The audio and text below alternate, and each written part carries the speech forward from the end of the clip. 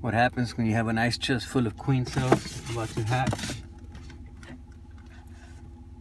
Uh, there's more in here.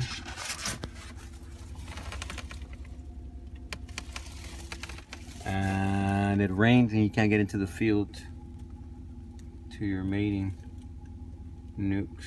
You have them hatch in your hand. We'll help this one out just for video purposes.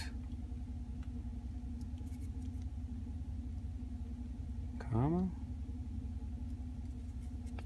Still trying to chew her way out.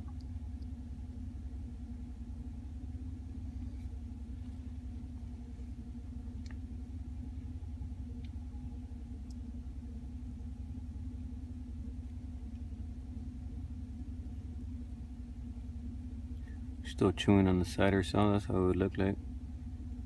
And there we go.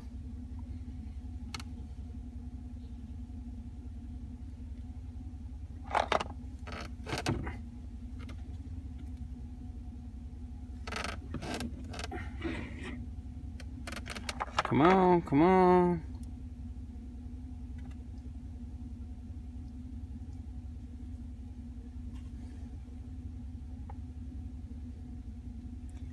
Ta-da!